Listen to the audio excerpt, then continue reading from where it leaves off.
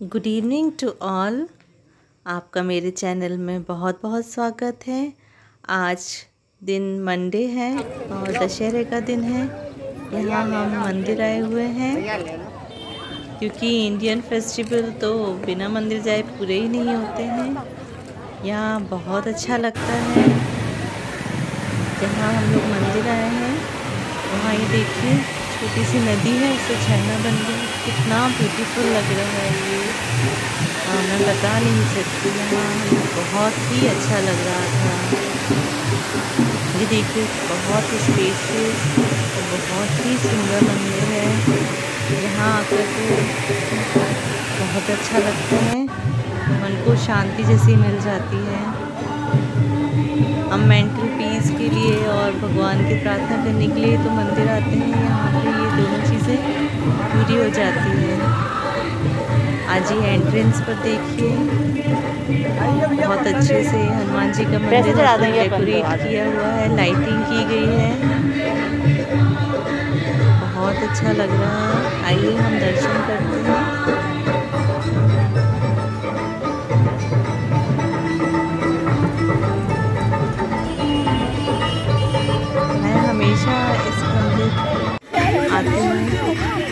मुझे बहुत ही अच्छा लगता है। आज दशहरे के दिन जैसे सभी के यहाँ गाड़ी पूजन और आ, हमारे शस्त्र इन सब की पूजा होती है तो मैं भी यहाँ पे ये बस पूजा कर रही हूँ। आप माला हमारे यहाँ जो हनुमान जी का सिंदूर होता है उससे स्वास्तिक बनाकर पूजा करते हैं। अपनी गाड़ी पे टू व्हीलर पे फोर व्हीलर पे। माला चढ़ा रहे हैं ये मेरे हस्बैंड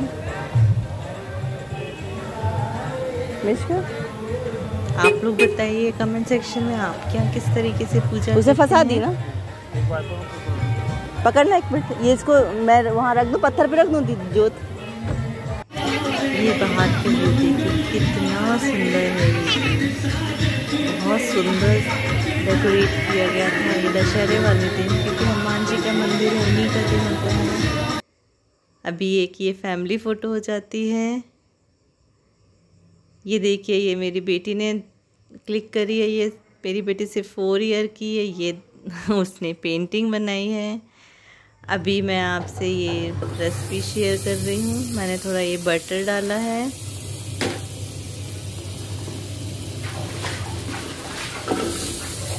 बटर में ये प्याज, मोटे हुए कटे, अदरक, लहसुन डालकर इसको सोटे कर लिया है।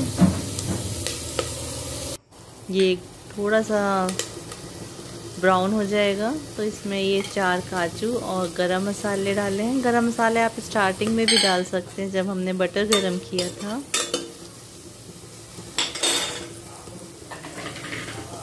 इसमें अब टमाटर डाल देंगे हम कटे हुए दो।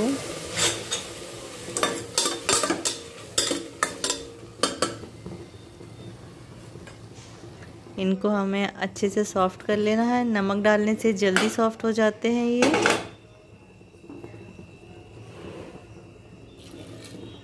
थोड़ा सा पानी डाल के हम इसे सीटी लगा लेंगे और इसे ठंडा करके इसे हम पेस्ट बना लेंगे। मैंने सेम कुकर में ऑयल गरम कर रखा है और जो